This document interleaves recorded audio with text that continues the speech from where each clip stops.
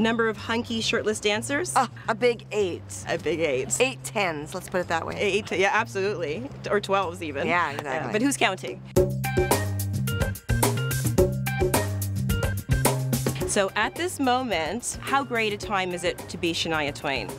It's it, this is a fabulous time in my life personally. I'm more creative than I've been in years, like a lot. I think since probably The Woman in Me, mm. that whole writing period. I'm I'm writing every day. I've got a little studio in my house. I I've been designing clothes, and I mean obviously very much into that for the show playing with fabrics and just getting giddy and inspi- being inspired by creativity.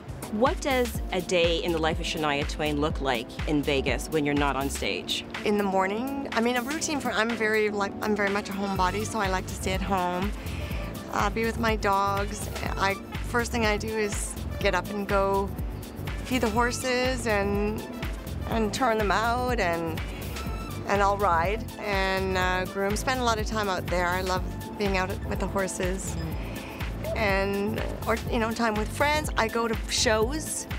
So by the time evening comes around, I you know I quickly get out of my riding stuff and drive to the strip, even though I'm not working that night, and watch shows or go to dinner and enjoy you know the the, the strip side of Vegas, which I love as a as a as a fan, as a visitor.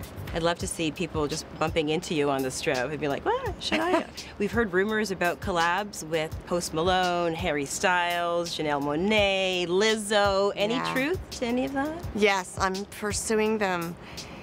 Those uh, dreams. I I'm a fan of all of these people, and, uh-huh. and, you know, we're it's a mutual thing. I'm in such a creative space right now writing, so I'm just focusing on writing songs for us, and we'll find the right moments and songs to uh, to get in the studio and do something together. There seems to be a mutual love, um, especially in Vegas in the community. I saw AJ McLean in the audience last night, David Copperfield, uh, um, cast of Vanderpump Rules. Yeah. You know, is that a special uh, an energy that's exclusive to Vegas? That kind of supporting each other and just, or just everybody's just really fans of each other? Very much so. I really love that about Las Vegas. There's a community here. There's there's not just a community of performers, but there certainly is that. The, the, the entertainers do support each other. They share ideas. They're not secretive about things. They, I don't sense a, a competitiveness among us. Like, I, I, think it's rare to Las Vegas. We all want each other to do well. We want what's best for the town. The town is a platform that is a privilege for us.